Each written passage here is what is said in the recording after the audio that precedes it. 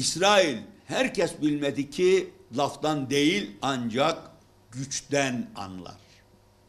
Gücünüz yoksa İsrail üzerinde etkiniz de olmaz.